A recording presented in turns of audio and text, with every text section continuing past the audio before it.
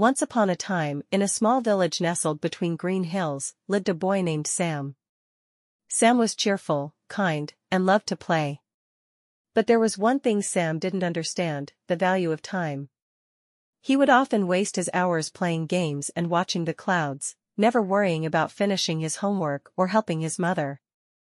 One sunny afternoon, Sam's grandfather came to visit. Grandpa Joe was wise and had lived many adventures in his younger days. When he noticed Sam spending hours doing nothing, he smiled and decided to teach him a lesson about time. Sam, Grandpa Joe said, have you ever heard the story of the magic clock? Sam's eyes widened with curiosity. Magic clock? What's that, Grandpa? Well, Grandpa Joe began, there was once a village just like ours, and in that village was a clock that could give you more time. If someone wasted time, the clock would take it away. But if someone used time wisely, the clock would reward them with extra moments of joy, happiness, and success. Sam was amazed. Does the clock really exist, Grandpa? Can I find it? Grandpa Joe chuckled. No, my dear boy, the magic clock is inside each of us.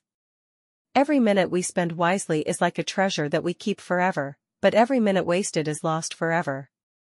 Sam thought for a moment. So, if I use my time better, I can have more fun and success? Exactly, Grandpa Joe nodded. Time is a gift. If you study, help your family, and finish your tasks, you'll have plenty of time left to play and enjoy your favorite things. But if you waste time, you'll find that there's never enough for what really matters. Sam decided to change.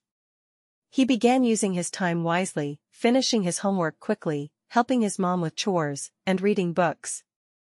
Soon, he noticed something magical happening. He had more time for his games, his friends, and even his hobbies. One day, Sam's teacher gave him an award for always being prepared in class.